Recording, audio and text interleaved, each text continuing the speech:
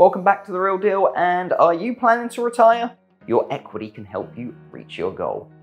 Whether you've just retired or you're thinking about retirement, you may be considering your options and trying to picture a whole new stage of your life. And you're not alone.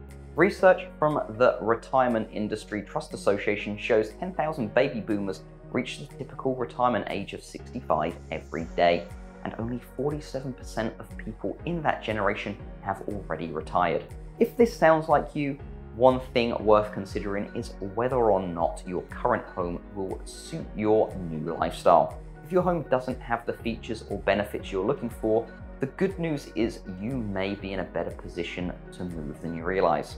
That's because if you already own a home, you've likely built up significant equity and that can help you fuel your next move. According to the National Association of Realtors, quote, a homeowner who purchased a typical home five years ago would have gained $125,300 from just price appreciation alone. In fact, over the last 12 months, CoreLogic reports the average homeowner in the United States gained $64,000 in equity due to home price appreciation you can use your equity to help achieve your homeownership goals, whether you want to downsize, move closer to loved ones, or buy a home in a dream destination. Your equity can help you get there. It may be some of what you'd need as a down payment on your home that better fits your changing needs. Find out how much equity you have in your home. Reach out to a trusted real estate professional like myself today.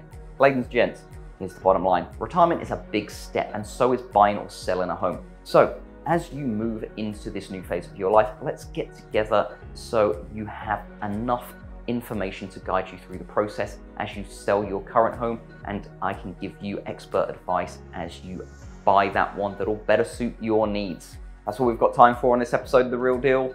As always, don't forget to like, share, comment, and subscribe. We'll see you next week.